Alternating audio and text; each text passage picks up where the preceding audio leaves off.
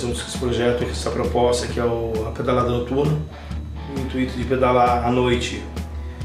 Como as pessoas trabalham de segunda a sexta normalmente, eles têm o dia todo ocupado e querem manter uma, uma, um condicionamento para ter um, um desempenho um pouco melhor no final de semana.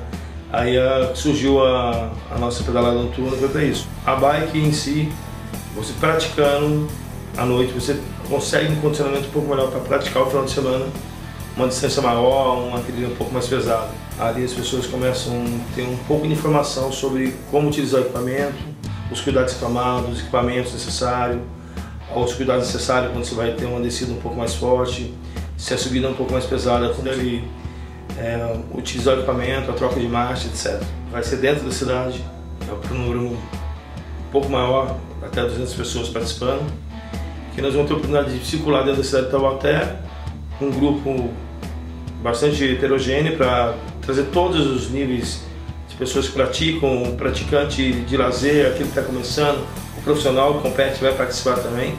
E principalmente trazer as crianças hoje para o esporte, né? que eu acho muito interessante, eu tenho todos os níveis, assim, faço pedal treino, pedal passeio e tenho pedalzinho kids também, que eu sempre incentivo. Finalidade é o quê? Colocar a criança no esporte e estar tá trazendo ela para mais próximo da família, que acaba sendo esporte família também. Para quem, pra quem é iniciante? Para quem está iniciando, não tem condicionamento, não tem ritmo, é, não sabe nem utilizar a bicicleta e o equipamento que tem. Ah, precisa ser uma bicicleta muito cara? Não, qualquer bicicleta se inicia uma pedalada.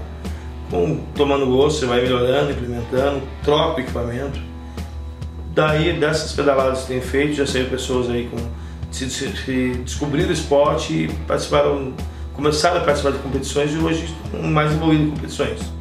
Principal finalidade da minha, do que eu faço com relação ao mountain bike, ao, ao ciclismo de lazer, é colocar o pessoal fazer atividade física, ter uma integração, você ter, conhecer novas pessoas, ter uma, uma abertura maior assim de contato com pessoas diferentes e, e aí por diante.